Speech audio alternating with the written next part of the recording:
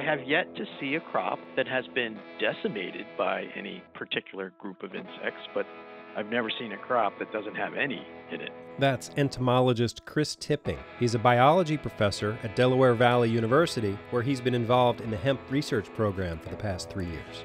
This is the Lancaster Farming Industrial Hemp Podcast. My name is Eric Herlock, and on today's show, we talk to Dr. Tipping about insect pests on industrial hemp, what to look out for, how to manage them. Plus, we hear about the hemp research program at Del Val University. And then we'll hear from Eddie Taylor from plantamplifier.com, who really wants to send you free stuff in the mail. Stick around.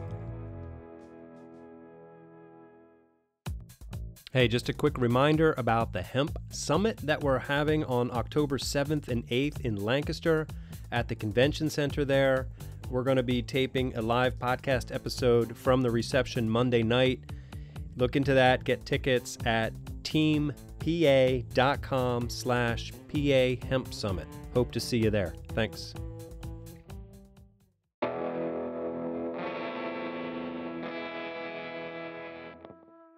Hi, Dr. Tipping. Welcome to the Lancaster Farming Industrial Hemp Podcast.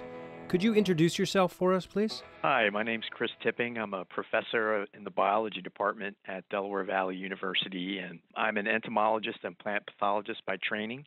And um, I have been involved in industrial hemp research since it first began in Pennsylvania in the uh, three years ago now. Yeah, so I see that um, Delaware Valley University was one of the original permit holders in the state in 2017. Yeah. So, what kind of research are you doing there? How has it progressed over the past three years? Uh, we wanted to get an understanding of what types of insect pests and perhaps disease that are vectored by insects uh, to the industrial hemp are going to occur. Basically, you know, we really haven't grown this crop for, you know, many decades, and uh, there wasn't much real good data as to what were the insect pests at the time. Also, uh, other insects have been imported by accident into North America since we've stopped and started uh, producing industrial hemp again. So I was kind of curious to see what that uh, ecology, what that dynamic would be. So basically, we began to grow a couple varieties and we uh, surveyed. And we've done that for three years here. I've also made a lot of connections to growers in the region, so I also use their fields to go out and inspect and um, just uh, looking to see what's out there. Right. Uh, so at this point, there's really no chemistry that's been registered for use against insect pests because I think we're kind of struggling a little bit to identify what's going to be a consistent pest. Hmm. And that's part of the problem. Uh, every year, it seems uh, there's a different pest that's emphasized. and in, in different regions, there tends to be different occurrences. So I'm trying to come up with some sort of model or hypothesis that could be helpful in helping growers predict what pests they're going to have Hmm. potentially have on their crop. Right. And it's it's been quite a challenge. There's a, a lot of factors to consider. There's what was grown uh, the year before, what what what is being grown nearby, what management practices are taking place around where you're growing. Mhm. So there, there's a lot of uh, interesting, you know, environmental, biotic, and abiotic factors relating to the incidence of these pests. So, when people talk about all the wonderful things about industrial hemp, sometimes they say it's sort of like naturally pest resistant. Do you find that to be the case? Uh, pest resistant really connotates a certain meaning um, relating to a, a, plant's ability to uh, resist damage. Uh, when you think about uh, insect pests on crops, you you have to think about something called economic threshold levels. So we might find certain pests on a on a crop, but at really low numbers, and they, Mhm. they might not be really economically important. You know, that's that's one of the things that you know one of the major thrusts of research. I think that's that's we're headed to. Uh, we have to understand not only what the pests are, but what levels there are there. Right. And uh, I I have yet to see a crop that has been decimated by any particular group of insects, but I've never seen a crop that doesn't have any in it. Right. So I, I, I hesitate to use that word resistant. Okay. Uh, last week I was speaking to a farmer out in Oregon. Well, I was in Pennsylvania, and he mentioned a Mhm. few things that they deal with out there, like cucumber beetles and russet mites, and something he called the lygus bug, Oh yes. and also like a, a root root aphid. Are these issues here in Pennsylvania, or could they be? So actually, some of them are. So I'll give you a quick summary of some of the major pests that we found on just our plots, and then some of the other things that I'm seeing in the nearby uh, facilities, Okay. both outdoor and indoor. And the indoor ones are primarily um, non-industrial hemp; they're more medicinal, Okay. and they tend to have a different suite of pests on them. Uh, without a doubt, the first year we had a problem with um, something called leaf miners. Hmm. The group is a, a, type of fly that lays its eggs on the leaves, and the the young flies develop between the layers of the leaf. They Right. leave a characteristic lesion. It kind of looks serpentine. Last year, that was the first year. Last year, same crop, same place, same um, genetics. I didn't see many at all, but lygus bugs were a huge problem. Every Mhm. plant had at least five to ten Wow. and it was one of the biggest infestations I'd ever seen. And then this year, I haven't seen a single lygus bug. Weird. I've seen uh, the the leaf miners again, and I've seen some other uh, caterpillars that are uh, a problem this year in a couple plants. They're primarily army worms. Okay. Um, there's two main ones that we're, we seem to get. There's one called the yellow striped army worm, and then there's another one called the southern army worm. They seem to be bad in spots. Uh, one thing, one insect that's kind of uh, interesting to me because it's the first insect I ever worked on. It's uh, European corn borers, Hmm. and they have been found in uh, quite a number of uh, industrial hemp plots. And the, the larvae will actually bore into the stalk when they get a little bit older. And the problem with that is uh, on a windy day, sometimes the stalk can, the, the, will break. and Okay. It's called lodging. It can Right. fall over, and then that plant's, you know, you're not going to get what you're looking for out of it. Right. Another thing that's that has really I've seen a lot of them. Probably about 30 days ago was the peak, and that is cucumber beetles Hmm. or southern corn rootworm. They have different common names, but they all belong to that one group. Uh, Diabrotica is the genus, Okay. and I have seen them nibble on young leaves. They cause like a, a a distinctive chewing lesion that's that's not doesn't have a set pattern. Mhm. I've also seen them in flowers feeding on pollen.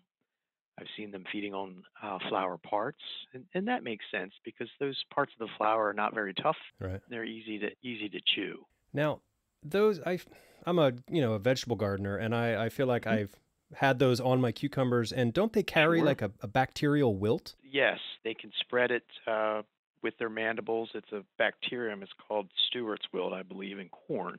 Hmm. And uh, I haven't seen any of that in the hemp, Okay. but um, you know, it's still early. Yeah. That that could definitely be a possibility. And that's when they're when they're feeding on corn primarily. You you see that. You also see it in in some other plants as well. But yeah, they can vector uh, that disease. yeah. Um, other sorts of pests that maybe farmers might be dealing with. I've seen uh, outbreaks of a couple species of stink bug. Um, on one of our plots we have at another farm this year, that I have a, I just looked at them yesterday. I had three or four plants that are covered with these young stink bugs. I'm not sure what they are yet. I have to wait for them to become adult and make it easier to identify. Right. I probably saw 50 on a single plant. They they'll probably move to other plants as they get older, but when they're young, they tend to stay together. Not sure what species that is. It could be the red-shouldered bug that has been reported in hemp Okay. in uh, Lancaster in the past as well. Hmm. Occasionally, I see grasshoppers. Um, you know, there, there's a lot of generalist insects that feed on a variety of of plants. They're just kind of nibblers. They go from place to place. And grasshoppers, tree crickets, I've seen in hemp. They sort of graze. Yeah, they're just kind of grazing or browsing. They're not really focused and attracted directly to that plant exclusively. Okay.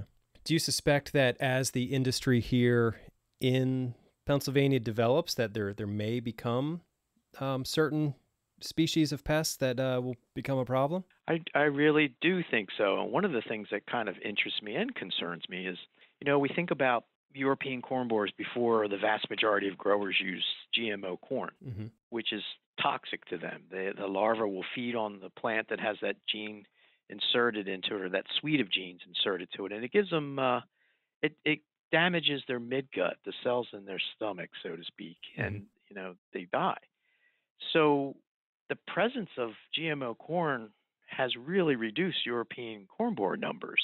They tend to have low infestation over wide areas. That's kind of a generalization about how they occur. I could see them making a, a slight comeback in certain areas if there's, you know, year after year industrial hemp and no treatment. They will build their populations up over time. I Hmm. mean, there are things that growers can do to reduce it, uh, cultural things that don't involve chemistry. Can we talk about those? Yeah. Uh, so when we think about controlling corn borers in, say, organic or non-GMO corn, one of the strategies to manage it is to um, till your corn stubble under because the larvae overwinter in the stubble. And then in the spring, they pupate and become moths, and that Mm. leads to the first generation that could affect your crops. So one method is to, you know, try to reduce their initial inoculum in the spring by tilling under your your stubble. Now, when you think about someone perhaps growing in a no-till situation, that might not be, you know, applicable. There might be some other things you could do. Right. Another thing that helps with uh, corn borers is the adults, the moths, will often be found in grassy or weedy borders around your crop. Oh. And I was just uh, at another farm not too far from here about two weeks ago, and we started seeing corn borers. And so we went and looked at a, a nice stand of foxtail that was, you know, massive. Yeah. And I took a sweep net, and sure enough, there were some adults in there. So they proceeded to quickly mow down everything around their field, which is, you know, that that can be of help, but uh, depending on what the issue is. But um, yeah, I'm I'm curious to see if corn borers come back, so to speak, Okay. using hemp. What other sorts of non-chemical practices could farmers use to control pests on hemp? Yeah, there, there's uh, there's several things you can think about. Well, first of all, let's focus on the caterpillar pests that occur. Um, there are many parasites and parasitoids that seek out caterpillars and lay their eggs in them. And then, you know, sometimes you might see a, a caterpillar on your tomatoes, a hornworm that has those white little fluffy cocoons Oh on it. yeah, the parasitic wasps. I love you those. got it. Yeah. hmm So what you could do, or what some growers have done in the past, I don't know if anyone has tried to do this with hemp yet, and I'd be interested in, in looking at it and working on it. Um, you can grow nectar plants that are beneficial to those parasites. Mm. And usually the plants that are good for that are those that have really small flowers, like Queen Anne's lace, sometimes what we might consider weeds hmm yarrow, uh, similar to Queen Anne's uh, lace, um, uh, Sweet William or Alyssum, I think. Okay. There's lots of little flowers that you can plant Right. around, and those nectar sources allow those wasps to one live longer, but I, I think they also attract them to the region of where the potential host insects will be. Okay. So that that's one thing that uh, I know some growers have done. They try to create create an ecology for the insect predators, Right. For their numbers to build up and help manage the pests that occur on the crop. Right. So either as a as a border around your planting or even in between the rows. Yes. Yeah. I, I, I yeah, depending on how you're growing and what you're growing, that you know, Right. you'll have to figure out what works maybe best for you. Sure. Another thing again is the cleanliness around your field. You want to remove uh, tall stands of thick grass. A lot of, uh, like I said, the corn borers like to, to hang out there during the day. So let's talk more about the uh, the projects your your students at Delaware Valley are working on in hemp. Uh, anything inter- interesting there to to discuss? Well, uh, this one of the students I had who's worked with me on a, another project with um, the spotted lanternfly. He's now working on a, a nearby hemp farm that I collaborate with and help. And uh, yesterday he sent me video of a couple spotted lanternflies in the hemp. Uh oh. and I, I've heard them and have been reported, but I, I've never seen one myself. So I was that was interesting to see that. Do you think they would cause damage? It's a good question. when those um, insects are young, they disperse widely and they feed on a great variety of hosts. Hmm. But as they get older, they seem to show a strong preference for uh, several hosts, and the tree of heaven in particular, right? Uh, Ailanthus. Um, but during their travels, you know, they're moving from plant to plant, and they're highly prolificous. And uh, fortunately, at this point, we don't think they spread any plant diseases. Oh, that's good. Uh, that would be another another concern if they did, because of their highly prolific nature. That could, if they were the vectoring some sort of disease, it it could compound the problem that they are. Right. So I know here in Pennsylvania we hear a lot about spotted spotted lanternfly, but maybe uh, there's some listeners outside of Pennsylvania who have never heard of this. Can you give us sort of a brief introduction to this new pest that we have here? So basically, in a nutshell, it arrived here in 2014 in Berks County, and um, it's like a perfect storm almost. Uh, its favorite plant was already here as a as a weedy tree that was it was introduced into Pennsylvania, um, I believe, in the early 1800s or late 1700s. I hmm. kind of have to double check that date. But that plant is everywhere, and it produces lots of seeds. And if you cut it down, it grows back very quickly. It's a fast-growing, aggressive tree that likes to move into disturbed areas like mm-hmm. highways, train tracks. So that is this insect's preferred host. If that plant wasn't here, I think we'd be looking at a very different story about that uh, if that thing had been introduced, that insect had been introduced without its favorite host. Right. I don't think we'd be having this issue at all, quite frankly. But uh, that's the key. That plant is really important for late season nutrition for that insect. Hmm. Now we found there's other hosts that they like to feed on, including grapes, which is a, a real problem as well. But it's it's quite a beautiful insect, though. You know, the oh, adult oh, is, sure is, is. gorgeous, yeah. but it's a shame they're they're so terrible. Yeah, it's bright red because it's poisonous. So sometimes, if if you notice, if you catch one, if you can, they have a very quick first step. They're right. like uh, NBA guards, I gotta yeah. say. They're very quick. If you can get a hold of them, though, they will often splay their wings out and show you that bright red wing. Right. And that's because they're toxic. And yes, I have tasted one. They're very bitter. I drank an entire beer, I will admit, on air, and it still did not wash the taste out of my mouth. Uh, and if I was a bird, I would remember that taste and not want to eat them. And and that's why they're brightly colored like that. It's to teach the predators don't eat us. We're, okay. We're not good. Yeah. Um, well, getting back to hemp, then, um, other things that that farmers should be sort of just you know thinking about, you know, mindful about um, as the season here winds down, and they're starting to think about you know field prep for next year. That's a great question. Uh, I'd love to give you some concrete, you know, predictions based on uh, what I've seen from year to year, but I have yet to see the same suite of pests in a field from year to year. You know, I wish I could say, get ready for this or get ready for that. Yeah, right. As we collect data on, you know, what varieties you're growing and, and as growers begin to report, I am confident we will start to see some trends that some varieties seem to have more or less of certain pests based on some sort of physiology of the plant, maybe some morphology of the plant, maybe it's hairier or less hairy. Uh, I think maybe we can kind of tease out some useful data as we continue to collect data. You know, generally, the pests that attack hemp are not specific to hemp. Okay. At least in this area, there are some areas where the Eurasian hemp borer has uh, shown some significant damage in a few fields.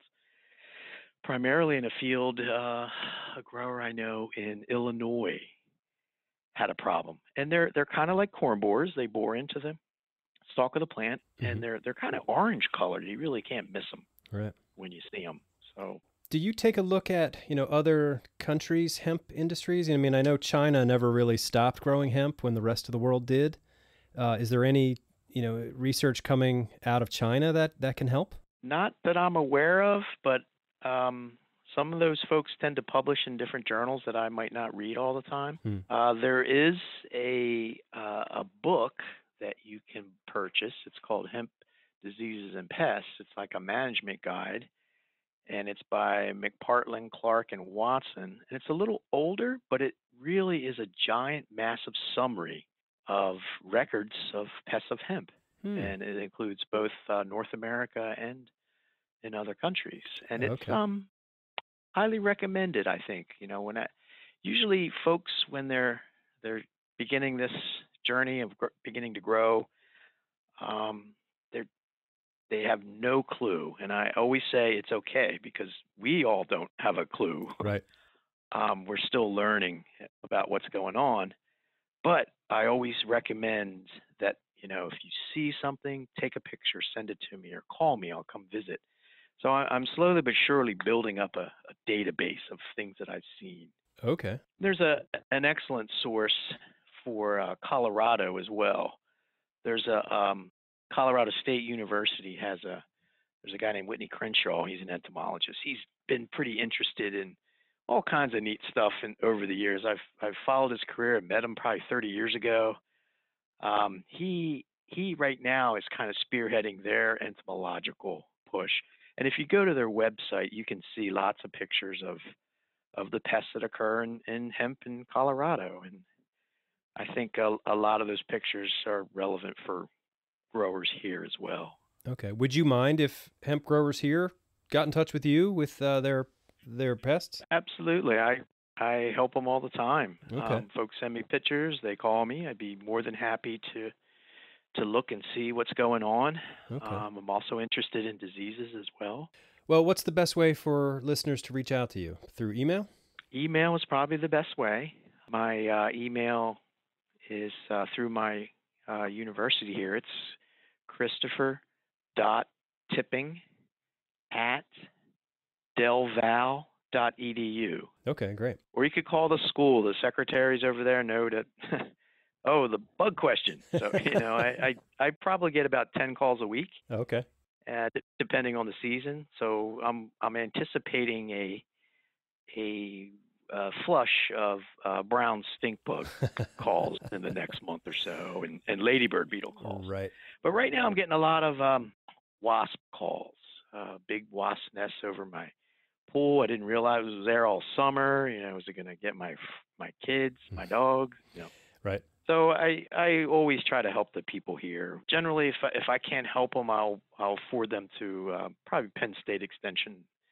Maybe there's someone there who can help, but usually it's it's pretty straightforward. Someone brings me a interesting insect in a jar, and you know I tell them what it is and how to to worry or not to worry. Um, Right.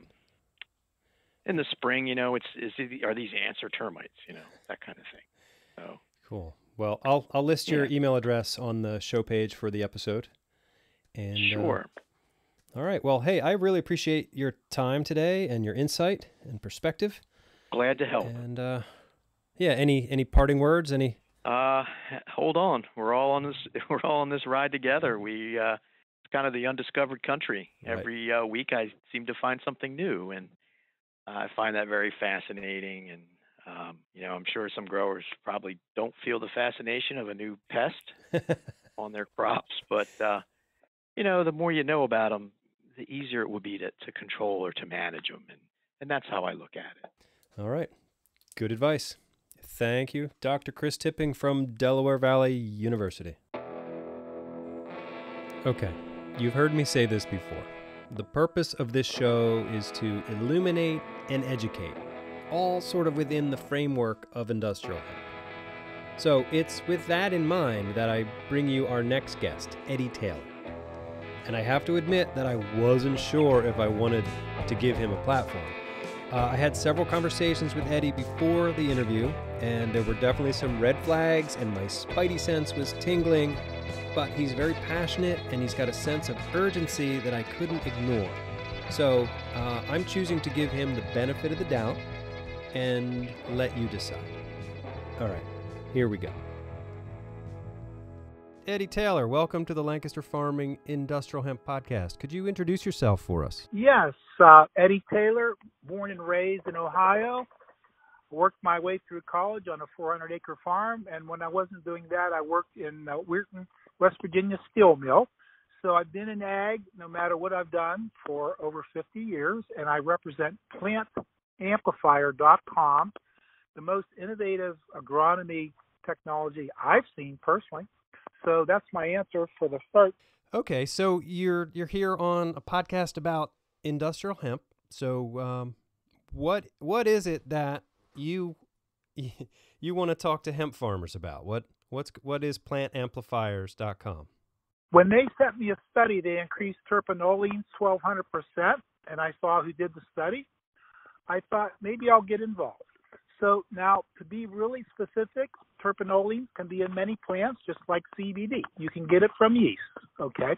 So, but I, I have a 5,000 acre hemp farm in Southern California, trialing our product out. What is our product? It is not a plant substance. It is not an animal substance.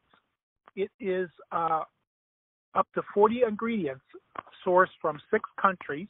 It took 33 years. The inventor's been at this 55 years. He has 900 patents, uh, 900 inventions, 52 global patents. Well, who is he? Who who is who is the inventor? The inventor is Ion Davidoni. He is known as the Tesla of Europe. If you look up Tesla's 1926 hemp patents, you realize that uh, Tesla got around. He thought about many things. And uh, is that a sham? Is that a fake? You know, on the web, that could be a fake. But I did see a patent for Nikola Tesla. Why am I saying that? This inventor from Romania is known as the modern day Nikola Tesla. Tesla had 1,400 patents. This guy has 900. He has about 500 he hasn't submitted. So he's the Tesla of farming. Now, what does that mean? Well, one thing's for sure, it's different. This is not a plant substance or an animal substance. This material that increased terpinolene 1200%. So I have a special offer today with a total disclaimer.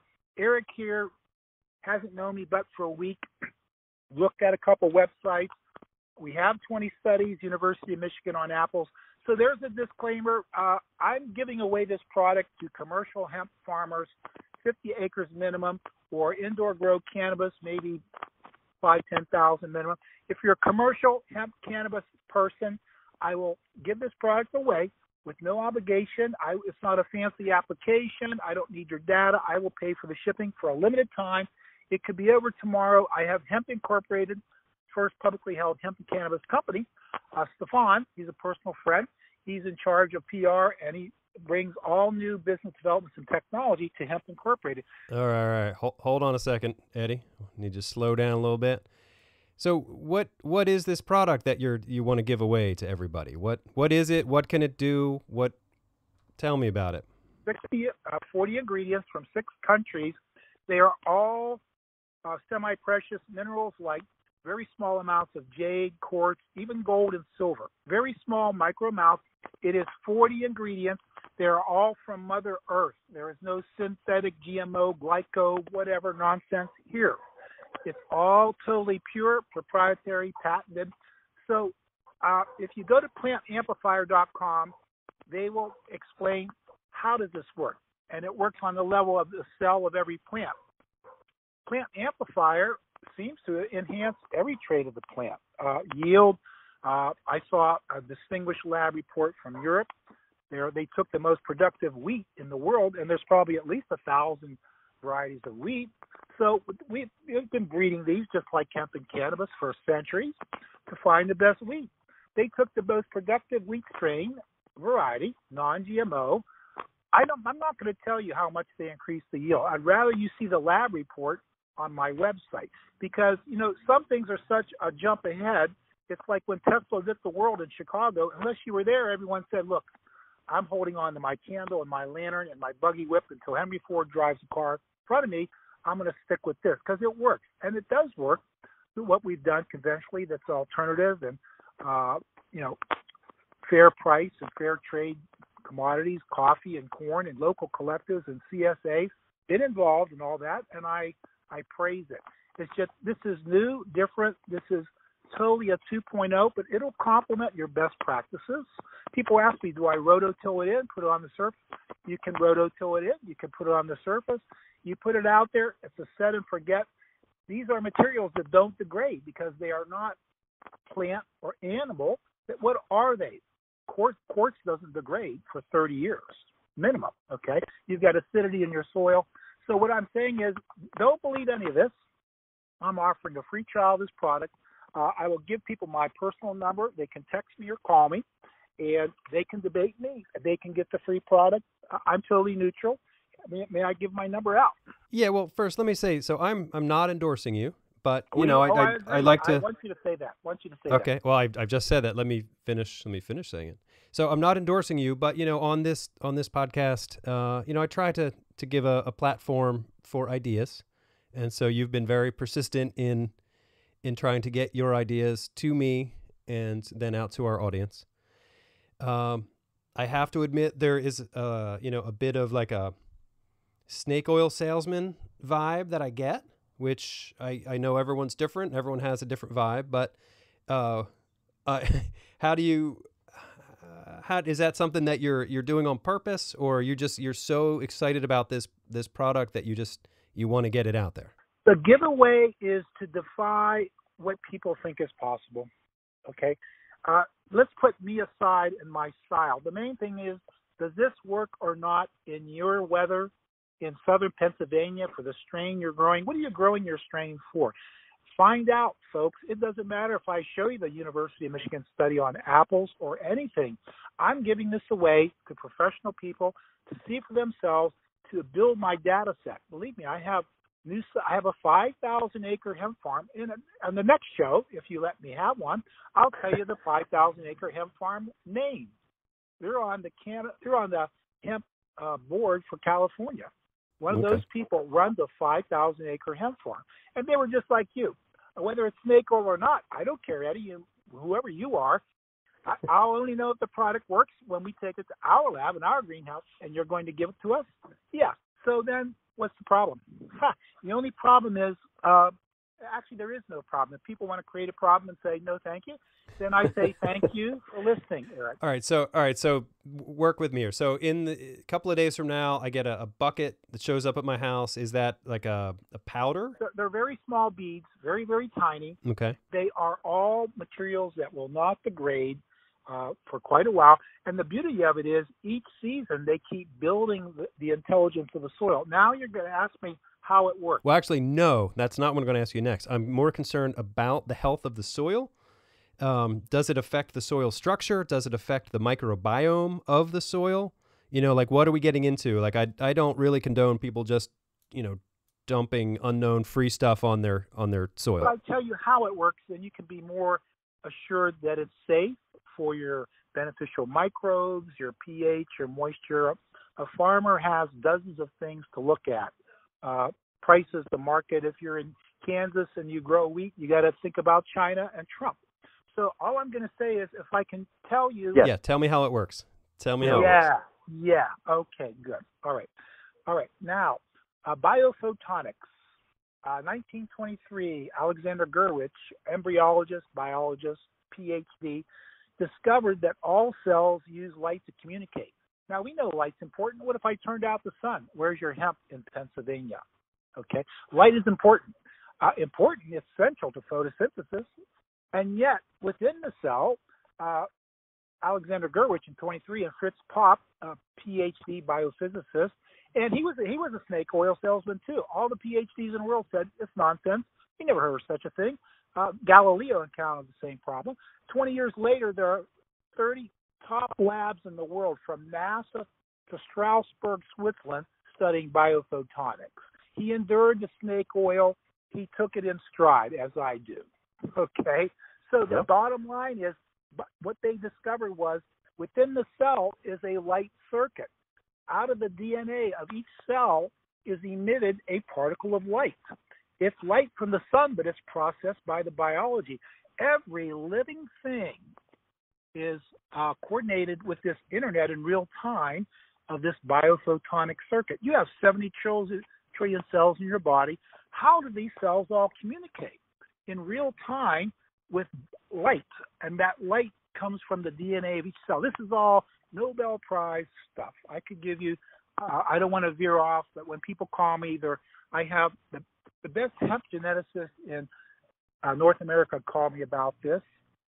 Uh, people that grow 30,000 acres of hemp in Alberta called me about this. So I talked to the botanists, the dirt farmers, physiologists, the chemists, but I can assure you that this is safe, clean, and uh, I have 20 reports. And bear in mind one thing we're a startup here. There's no perfect way to get this going because these scientists spent 55 years on the science, not marketing, the perfect mm-hmm. website. They call it a fertilizer. I said, well, that's a mistake because it's not. It does generate fertility, but it is not a fertilizer. So you go to Plant Amplifier, it's we have to rebrand the whole thing. These guys are from Romania. They don't know the culture. They've been here 14 years. Nobody even knows Plant Amplifier.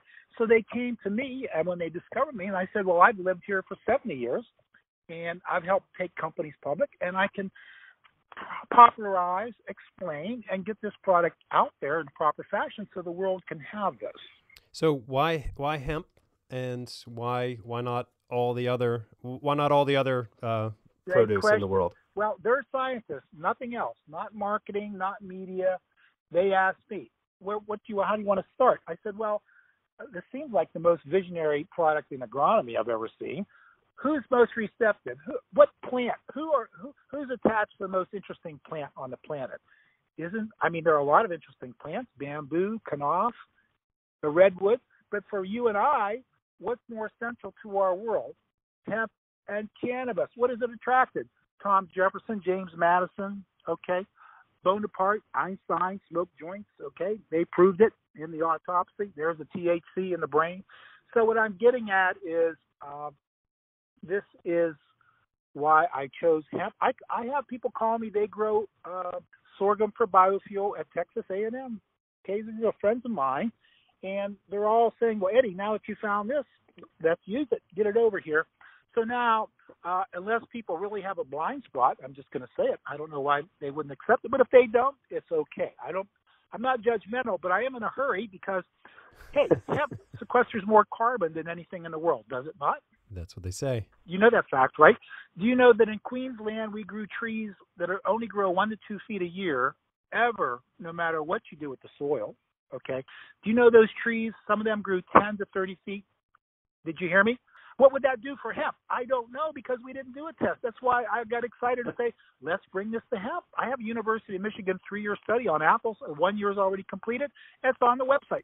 So, what about your 5,000 acres in California? How is um, you know, sometimes there's politics here. I'll tell you why. I've got the biggest winery in California using this. They they're going to try to buy us out, and so they don't want to they don't want to talk to you. They want to talk to me, and they want to buy us out. And hmm. we're not going to be sold. I want this to have go out. This is like uh, Tesla, democratic, power to the people, the power of unimpeded growth. Our growth is impeded even in hemp with politics, regulations. You know that. Some mm-hmm. of it's mm-hmm. necessary, some of it's not. This is hemp point. This is a real victory for hemp because nobody understands the cell like the scientists. You know why? There's 10,000 biochemical reactions that go on in any cell, whether it's you, your daughter, uh, maybe even a blade of grass. In a cell, it's a city, and it's all conducted by biophotons. We have proven we enhance the biophoton coherence because uh, and then all this magic happens. Microbes get healthier, uh, mycorrhizae get better.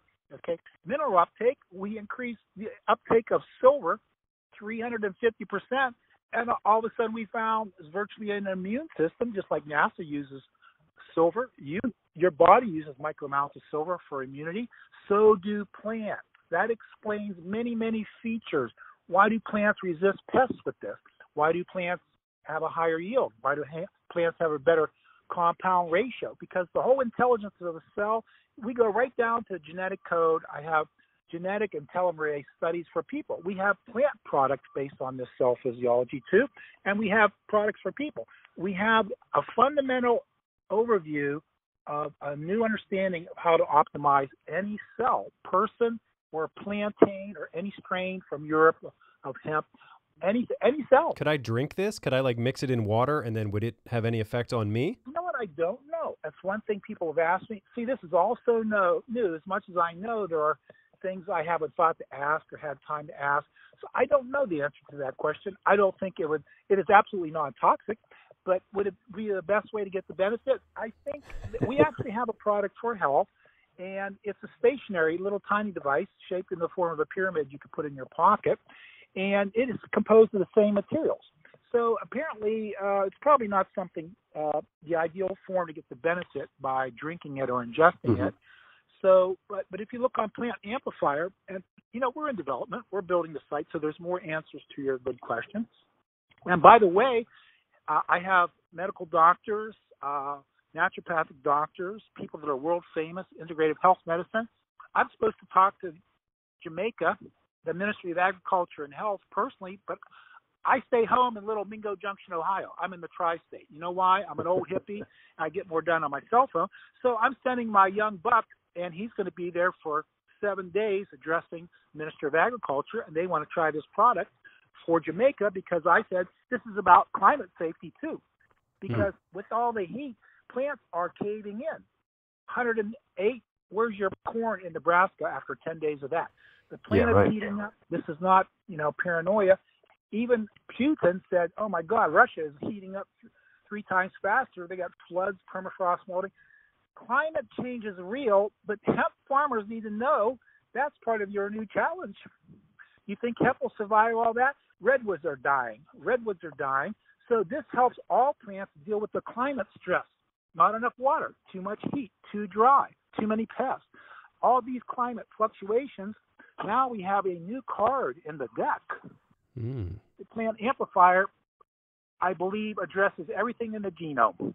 This is my okay. theory. You know, right. I don't have studies. We don't have the time and money to prove it. I believe Plant Amplifier addresses every element in the entire genome of every cell. This is my theory, and right, we'll prove right. it over time. Well, so so let's uh, let you know our audience decide whether or not they want to get in touch with you. So, what's the best way for folks to reach out and, and get this this sample?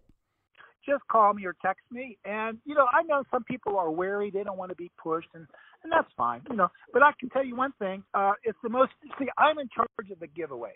Okay, uh, so would you mind if I just gave my number and people can? Well, yeah, that's that's what I'm that's what I'm asking you to do. What's the best way for them to get in touch with okay, you? Okay, here here, and I prefer they text me. You know why? If they tell me a little bit about themselves, uh, if they have a web presence or not, I'll look them up so I know who I'm talking to. So here's my number. I, now this is a Texas number, but I'm in Ohio. I was born and raised in Ohio. Okay. Mm-hmm. Uh, I pitched hay until I almost passed out, so I know what farming is about. Nine three six seven one eight two seven four seven. If you want to save 20 hours, anyone who calls me, I'll give you my website, and that is Golden Opportunities Development. Go to Global Restoration, the first item on the menu, and there are 13 articles that address physiology, water. How does it affect the water in the cell? Wouldn't you like to know that? Do you know we have a test that the soil retains water so much more? I'm not. I don't want to say how much more. I want you to see the studies because then you're going to say snake oil, and uh, I might be snake oil, but the product and data doesn't lie, and your backyard will not lie to you. You might think I'll lie to you. When I send you the product, will it lie to you? Your soil will talk to you. You know what happens in three to four weeks? Many people say, "Huh, something going on here. These these these leaves are greener." You don't have to wait for your 90 day harvest. You'll start to see things very often in three to four weeks. All right. So that number again? Nine three six seven one eight two seven four seven. I have. I'll tell you what. I have a prejudice.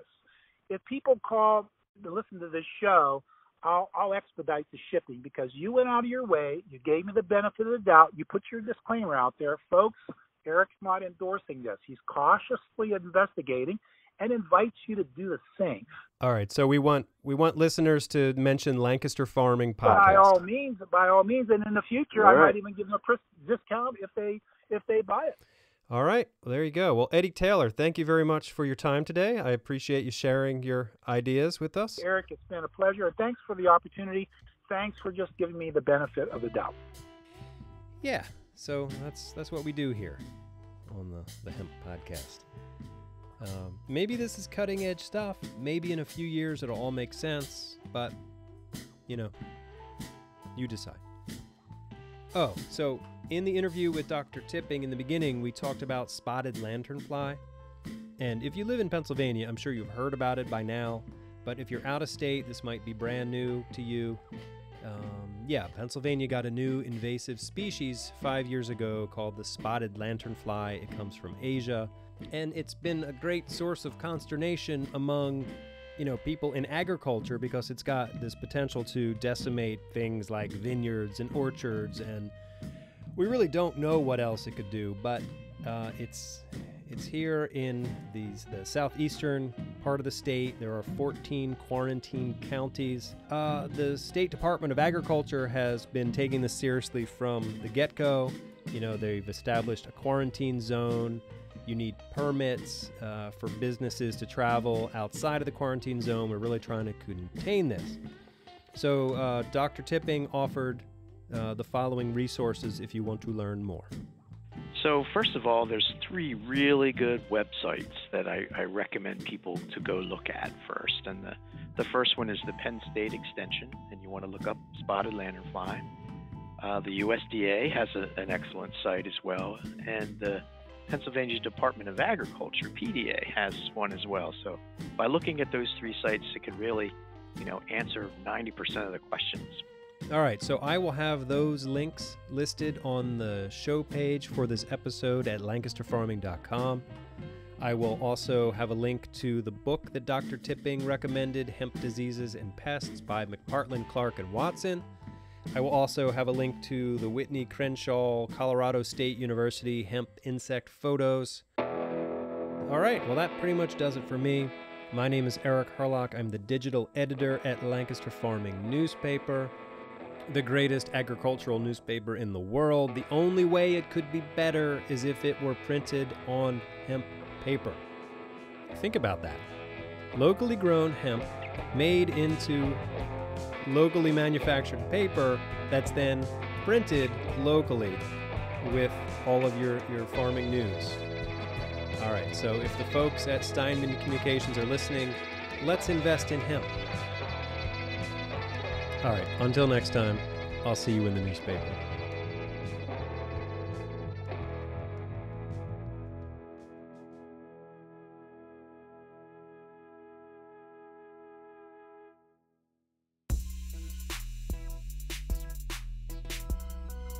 This episode of the Lancaster Farming Industrial Hemp Podcast is copyright 2019 by Lancaster Farming, which is part of the Steinman Communications family. Today's show was written and recorded, edited and produced by Eric Herlock. That's me. Most of the music you heard today is courtesy of Tinbird Shadow, everything except that one little bit from John and the Plastic Ono Band. Thanks, John.